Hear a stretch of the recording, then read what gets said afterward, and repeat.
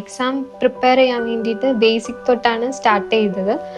അപ്പോൾ ഇതിന് സ്റ്റാർട്ട് ചെയ്യുമ്പോൾ എനിക്ക് കാര്യമായിട്ട് ഇതിന്റെ ബേസിക്സ് ഒന്നും അറിയുന്നുണ്ടായിരുന്നില്ല.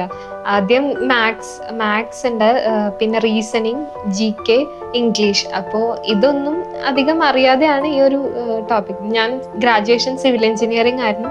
അതും ഇതുമായിട്ട് ഒരു ബന്ധം ഉണ്ടായിരുന്നില്ല. സ്റ്റാർട്ടിങ് മോക്ക് ടെസ്റ്റ് ചെയ്യുമ്പോൾ മാർക്കൊക്കെ ഭയങ്കര ലോ ആയിരുന്നു. അപ്പം ഭയങ്കരമായിട്ട് കോൺഫിഡൻസ് ഒക്കെ പോയി ആ ഒരു ഇതായിരുന്നു.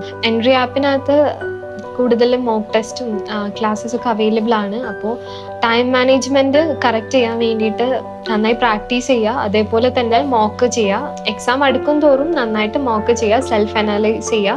നമുക്ക് അതിലൂടെ സ്വന്തമായിട്ട് ഇമ്പ്രൂവ് ചെയ്യാൻ പറ്റും. ഇപ്പൊ സി എച്ച് എസ് എല്ലാണ് ഞാൻ ക്ലിയർ ചെയ്ത് നിൽക്കുന്നത്. നെക്സ്റ്റ് എന്ന് പറഞ്ഞാൽ സി ജി എൽ ആണ്.